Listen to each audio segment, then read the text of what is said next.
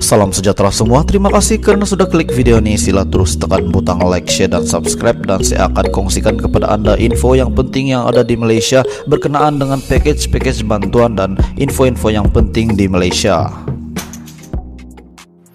Salam sejahtera seluruh warga Malaysia. Berita hari ini daripada bekas Perdana Menteri Najib Razak. Kenyataan beliau, ada juga JCOM yang komen bahwa saya menghasut rakyat apabila saya tekan kerajaan untuk beri bantuan bagi PKP 3.01. Kenapa saya tekan dan sebab apa rakyat perlu dibantu? Sebab yang pertama, kerajaan kata sebab kes COVID melonjak semula ialah kesilapan memberi kelonggaran terlalu awal serta merebaknya varian baru. Kesilapan memberi kelonggaran terlalu awal termasuk pembukaan semula sekolah pada ketika case baru COVID masih tinggi sebab kerajaan buat PKP separuh masak bukan salah rakyat. Itu dasar kerajaan.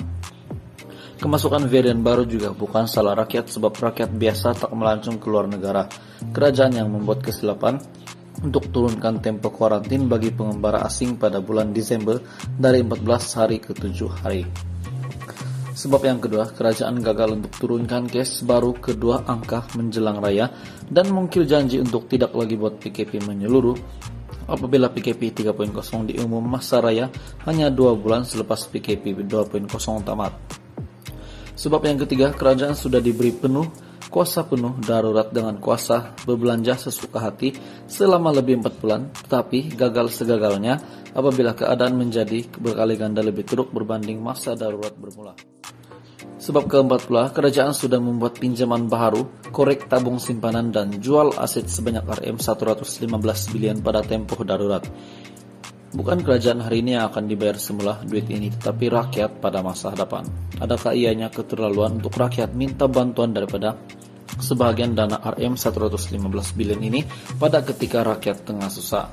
Manakala sebab kelima, ramai rakyat yang biasa yang biasa memang perlukannya sebab ada yang terpaksa tutup dua bulan, buka dua bulan dan terpaksa tutup dua bulan lagi.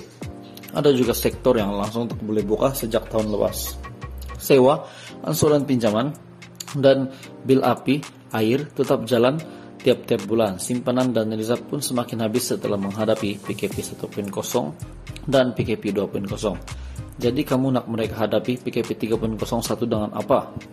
Ingat, kerajaan hari ini sendiri yang mengaku prihatin. Jadi buktikanlah bahwa kerajaan benar-benar prihatin sebab nama Makcikiah pun tidak disebut lagi hampir setahun. Berikut merupakan kenyataan daripada bekas Perdana Menteri Najib Razak.